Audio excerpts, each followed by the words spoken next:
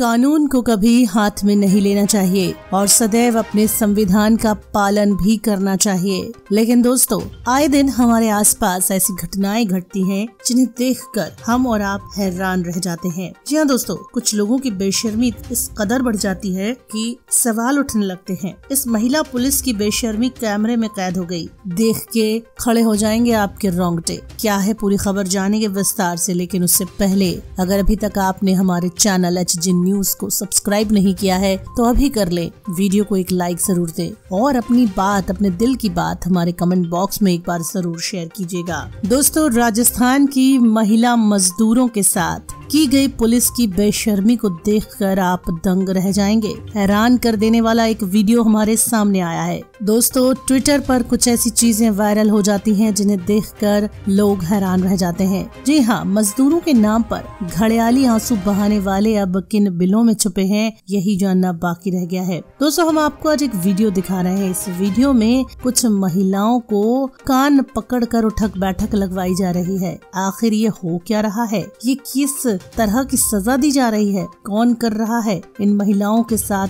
इतनी बेशर्मी। जी हाँ दोस्तों, इस पर काफ़ी सारे कमेंट्स आ रहे हैं। लोग इसे वायरल कर रहे हैं, लोग सवाल भी कर रहे हैं और कुछ जवाब भी दे रहे हैं। राजस्थान के लोगों को गलत चुनाव करने की सजा यहाँ मिल रही है, ऐसा भी कहा जा रहा है। हिंदुओं के लिए बड़ी शर्म की बात है। जहाँ लोगों को एक होकर चलना चाहिए, वहाँ लोग इस तरह की हरकत कर रहे हैं। ये वीडियो राजस्थान के किसी इलाके का है। कब का है? ये बात तो दोस्तों सामने नहीं आई है। लेकिन फिर भी इस वीडियो को देख कर लगता है कि एक काला धब्बा है।